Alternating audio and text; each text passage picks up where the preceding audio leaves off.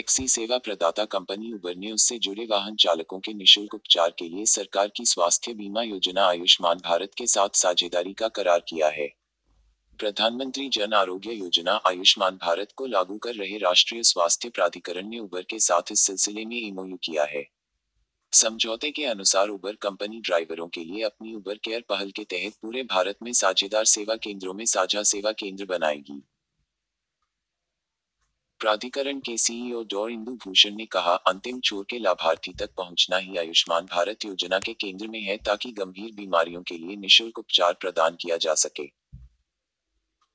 उबर के भारत और दक्षिण एशिया के अध्यक्ष प्रदीप परमेश्वर ने कहा, हमारे कामकाज के केंद्र में ड्राइवर साझेदार हैं और हमारे साथ काम करने के दौरान उन्होंने बार बार मज़बूत सुरक्षा तंत्र, खासकर अच्छी स्वास्थ्य सुविधाओं की ज़रूरत का उल्लेख किया है। वीडियो अगर पसंद आई हो तो वीडियो को लाइक करिए, हमारे चैनल को सब्सक्राइब कर लीजिए ताकि कोई भी वीडियो बना हो तो आप तक नोटिफिकेशन सबसे पहले मिले।